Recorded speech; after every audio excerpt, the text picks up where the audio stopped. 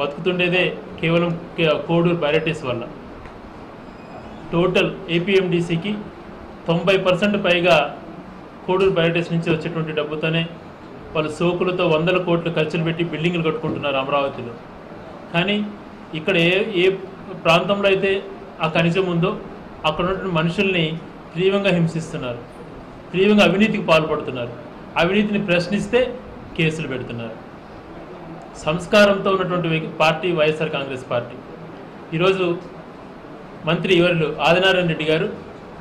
రాజశేఖర రెడ్డి గారి కుటుంబం గురించి ఎంత నీచాది నీచంగా వినేవాళ్ళు కూడా చెవులు మూసుకునే విధంగా మాట్లాడుతున్నాడు. కానీ భరిస్తున్నాం ప్రజలే దీని సరైన సమయంలో తీర్పునిస్తారు. ఎంత దారుణంగా మాట్లాడుతున్నా తనపైన ఆ మా దానిపైన నోరు విప్పకుండా అవినీతిని ప్రశ్నిస్తే వాళ్ళపైన కేసులు పెడుతున్నారు. ఇది ఎంతవరకు సమంజసం రమణ దీక్షితులు గారు మనం టీటీడీలో చూసినాం. తను దైవ కార్యక్రమంలో కూడా పూర్తిగా పార్టీ పరంగా ఇన్వాల్వ్ చేస్తున్నారు. స్వామివారికి నైవేద్యం పెట్టే సమయంలో కూడా పెట్టనీయట్లేదు. సుప్రభాతం తెల్లారుజాము చేసిన సుప్రభాతం అర్ధరాత్రి చేస్తున్నారు వేపీల కోసం అని చెప్పి తను ప్రశ్నిస్తే మొత్తం మీడియా అంతా తనపైన దాడి చేయించడం తను ఒక అవినీతిపరుడుగా చిత్రీకరించడం అంటే వీళ్ళు ఎవరు ప్రశ్నించకూడదు. ఎంతసేపు ఆహా ఓహో అని పొగుడుతూ ఉండాలి? ప్రశ్నిస్తే శిక్షించడం.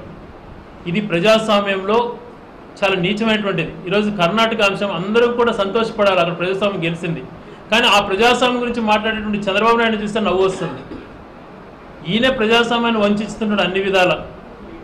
శాసనసభను కొనే విషయంలోనూ కానీ ఇతర పార్టీలు నగిన వాళ్ళకు మంత్రి పదవులు ఇవ్వడంలో కానీ తర్వాత ప్రజాస్వామ్యం అవినీతిమయం చేయడం కానీ ఎవరైతే ప్రభుత్వ ప- ప్రభుత్వ పరిధిని ప్రశ్నిస్తే వాళ్ళను కేసులు పెట్టడం కానీ ఇవన్నీ ఈయన ప్రజాస్వామ్యంగా చేస్తూ ఇతరులపై నిందలు మోపడం ఎంతవరకు సమంజసం? చౌదరి గారి వ్యవహారం ఏదైతే ఉందో ఏపీసీ ఏపీఎండిసి ఎండి గారి తన పైన ముందు నుంచి కూడా తన ఇంట్లో ఒక వంట మా వంట మనిషి మాదిరి ఉంటాడు తను. తను చంద్రబాబు నాయుడు మాటకు జవదాటడు. అనునిత్యం ఆయన సేవలో ఉంటాడు అని చెప్పి ఎప్పుడు ముందు నుంచి చెప్పేవాళ్ళు.